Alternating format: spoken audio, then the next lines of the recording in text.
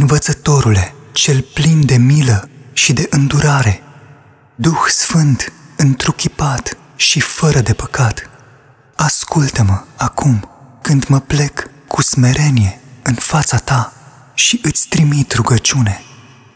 Astăzi le voi duce pe toate cu liniște, căci voi ști că tu veghezi asupra mea și în același timp să lășluiești în inima mea.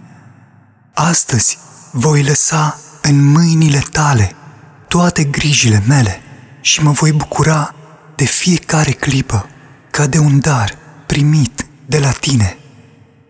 Astăzi voi fi de încredere și de folos celor din jurul meu, căci așa îți place ție să fie cei ce intră în împărăția ta.